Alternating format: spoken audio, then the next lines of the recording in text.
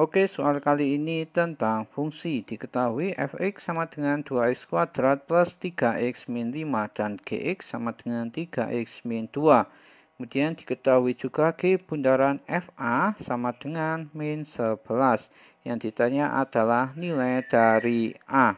Oke, untuk menentukan nilai dari a, kita bisa jabarkan terlebih dahulu ya atau kita cari terlebih dahulu fungsi fungsi dari G bundaran fx ya.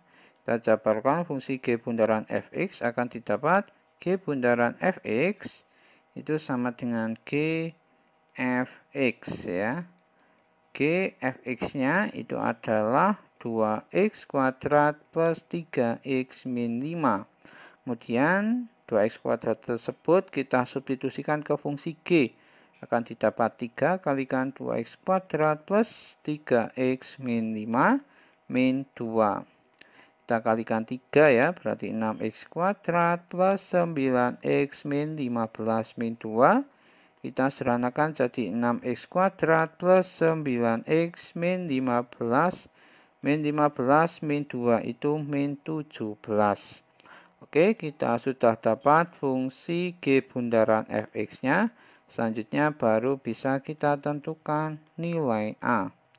Nilai A di sini didapat dari persamaan G bundaran FA sama dengan min 11.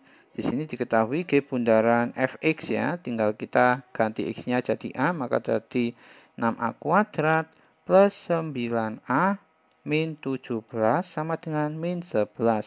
Kita pindah ke ruas kiri semua jadi 6A kuadrat plus 9A min 17 ditambah 11 jadilah min 6 sama dengan 0. Oke, nilai A-nya berarti kita faktorkan ya. Kita faktorkan persamaan yang terakhir kita dapat yaitu 6A kuadrat 6A kuadrat ditambah 9A ya, kita tulis ini 6A kuadrat tambah 9A min 6 sama dengan 0. Sebelum kita akarkan atau kita faktorkan, kita bagi 3 dulu jadi 2A kuadrat plus 3A min 2 sama dengan 0. Maka faktornya yaitu sini 2A ya, kemudian 2A kalikan dengan sini A ya. 2A kalikan dengan ini plus 2 supaya jadi 4A. Di sini min 1 ya supaya 4A kurangi 1A sama dengan 3A dan min 1 kalikan 2 itu min 2. Maka didapat A-nya yaitu 2A sama dengan 1A sama dengan setengah atau A plus 2 sama dengan 0 A-nya sama dengan min 2. Jadi nilai A-nya adalah 1 per 2 atau min 2. Oke sekian dan terima kasih.